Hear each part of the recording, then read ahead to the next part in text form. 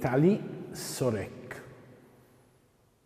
È una bambina, come tante bambine, ma è una bambina direi speciale, particolare, perché è una bambina che, ahimè, come tante, ogni giorno deve fare i conti con la guerra, con la violenza.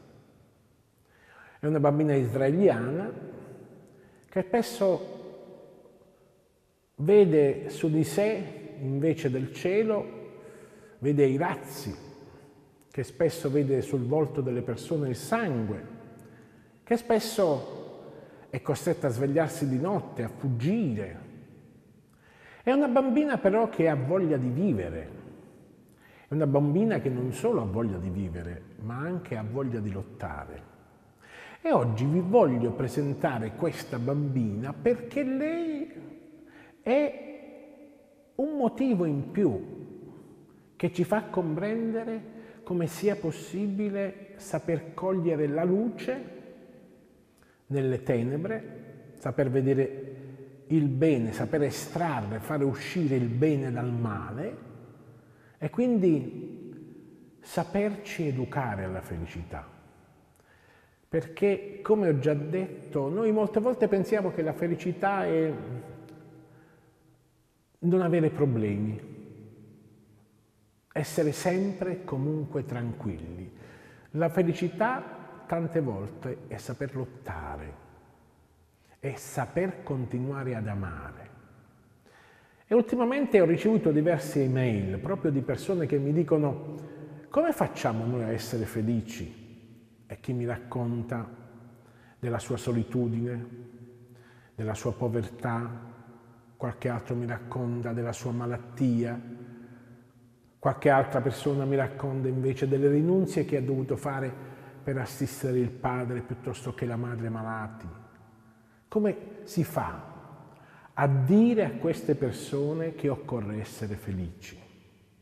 Ecco che qui torna un problema difficile perché vedete io non ho soluzioni e fondamentalmente non so rispondere a queste domande ma cerco di mettere in moto il cuore, perché non ci sono delle domande come delle ricette.